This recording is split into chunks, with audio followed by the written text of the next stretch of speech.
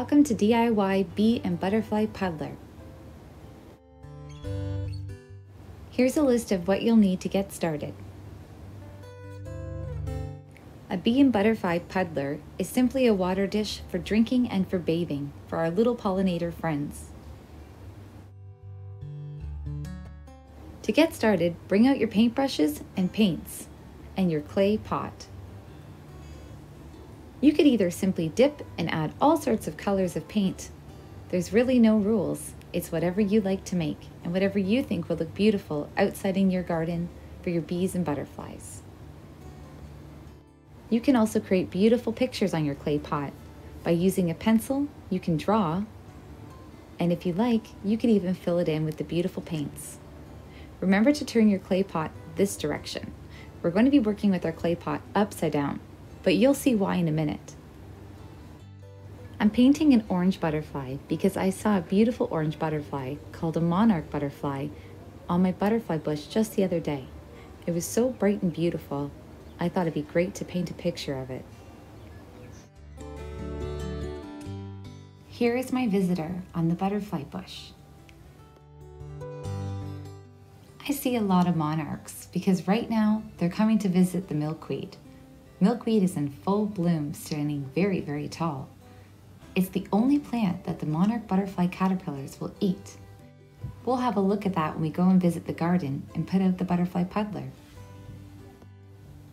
But it's not just the butterflies that need the puddler, the bees need it too. On really hot days, the bumblebees can get really, really thirsty, and they need a drink of water. Sometimes you'll see them go down to the puddles and have a drink, but if it hasn't rained, they're not going to have a way to drink.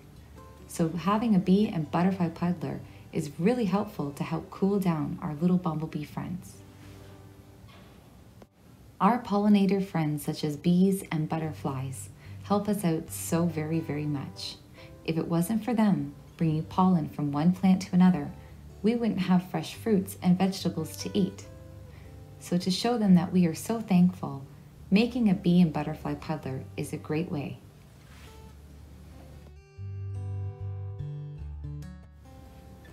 I'm almost finished my monarch butterfly. Think it looks great. I'm going to add some black spots to him, just little touches, and maybe some grass at the bottom.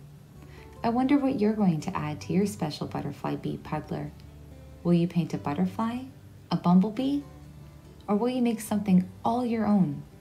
Or will you just mix up all the colors and see what happens? I wonder. Now for the last part is to add our saucer. The saucer is the most important. We can't paint on the middle, but we can paint along the edges if you like. When we're all done painting, it's time to add the saucer to the top of the pot. Turn your pot over and place the saucer on top. It'll look like a mini bird bath, just like this. Then we're ready to bring it outside when it's all dry. Now we're in the garden, and here's the common milkweed. There's no butterflies or caterpillars yet, but they've been here. Do you want to see how I know that they've been here? We're going to have to take a really close look at a milkweed leaf. Do you see what I see? What do you notice about this leaf? Munch, munch, munch. Yes, someone has been taking big bites of the milkweed. Then there's little holes too.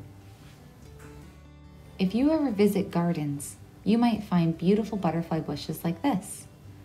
Butterfly bushes attract butterflies, such as this beautiful eastern swallowtail, one of my favorites.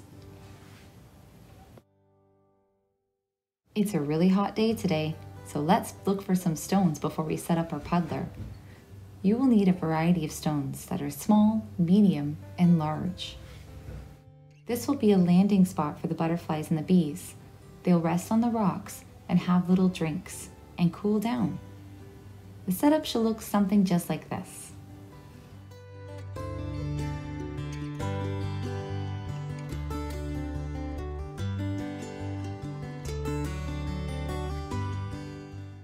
Always keep your puddler low to the ground. That's where they'll have a drink. And then when you're ready, add in just a cup of water.